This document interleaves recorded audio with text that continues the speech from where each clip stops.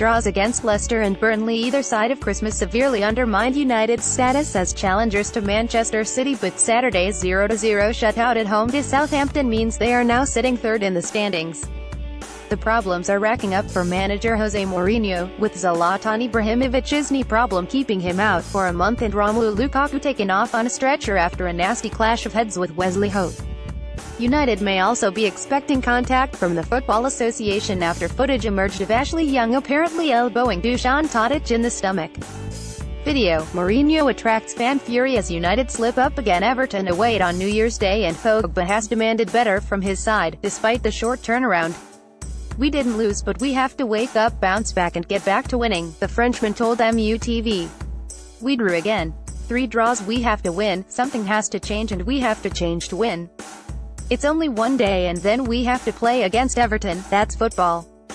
Tomorrow's another day and we have to go out there and win, an injured Romelu Lukaku of Manchester United Getty images on the mid-match injury to 14-goal top scorer Lukaku, Pogba said, when we have Romelu, he makes it difficult for defenders and creates so much space as well. He's a big miss for us but we have the team to fill the gap of Romelu. Medical staff took every precaution in treating a potentially concerning head injury, placing the Belgian on a stretcher and fitting an oxygen mask. By full-time Mourinho was confident the worst-case scenarios had been ruled out and was instead predicting a two-match layoff for the forward. As for Young, who has been one of United's most consistent performers this term, the possibility of a three-match ban lingers.